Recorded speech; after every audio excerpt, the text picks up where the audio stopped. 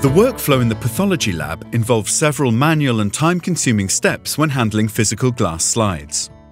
These steps increase the risk of the glass breaking, getting lost, or being mapped to the wrong patient in the glass archive. A digital workflow minimises these risks and offers a number of advantages. Instead of reviewing the slides in a microscope, they're scanned and sent to a secure and central digital multimedia archive, a VNA. This means that the pathologist can review the images from a workstation located anywhere within the hospital or even at home.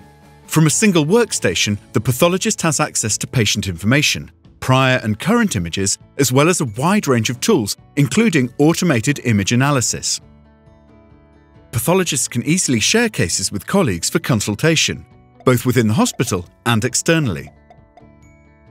Preparations for multidisciplinary team meetings, MDTs, can be carried out during the review process, which of course saves a lot of time. Pathology is currently facing major challenges with long patient waiting times and a need for increased quality. Digital pathology enables pathologists to use their time much more efficiently and to better meet the demands for standardized patient pathways.